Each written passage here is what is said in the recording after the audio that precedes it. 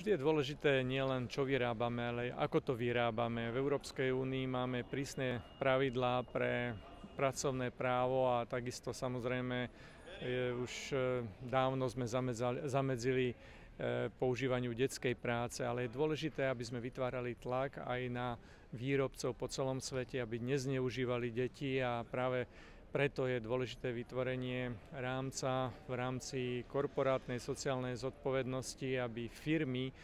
ktoré sa pohrávajú treba aj s využívaním detskej práce, aby nedovážali tieto výrobky a služby na európsky trh.